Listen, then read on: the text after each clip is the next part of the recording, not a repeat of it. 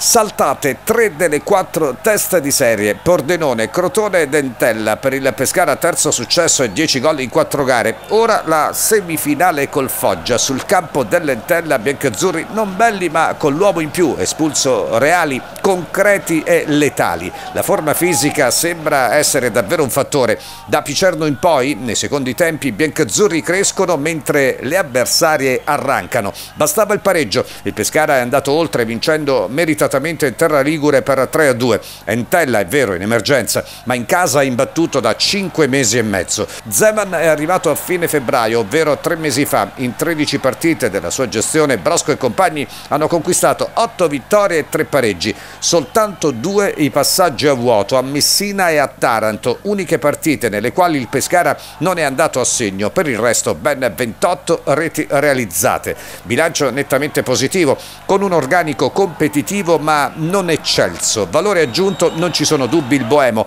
che nel ruolo di vice Lescano in Terra Ligure ha scelto e rilanciato Cuppone.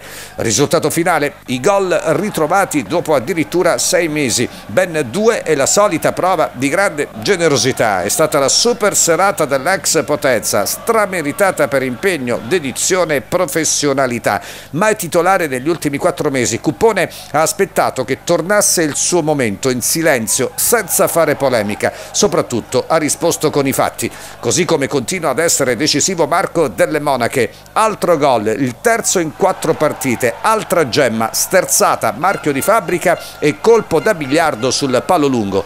Ora la semifinale col Foggia, che incrocio tra Zeman e Rossi. Domenica prossima, 4 giugno, prima gara allo Zaccheria. Ufficializzato l'orario, si giocherà alle 20.30. Biancazzurri senza gli squalificati Brosco, Milani e Palmiero erano diffidati. Tutti e tre sono stati ammoniti. Satanelli primi per lo stesso motivo del difensore spagnolo Rutiens, ma rientrerà Leo. Giovedì 8 giugno il ritorno all'Adriatico, sempre alle 20.30. Nell'altra semifinale si affronteranno il sorprendente Lecco che ha fatto fuori il Pordenone e il Cesena che invece ha eliminato il Vicenza. Non ci saranno più teste di serie, entrerà in scena il VAR. In caso di parità di punteggio complessiva passeranno il turno le squadre con la migliore differenza reti nelle due gare. In caso di ulteriore parità, tempi supplementari e eventualmente calci di rigore.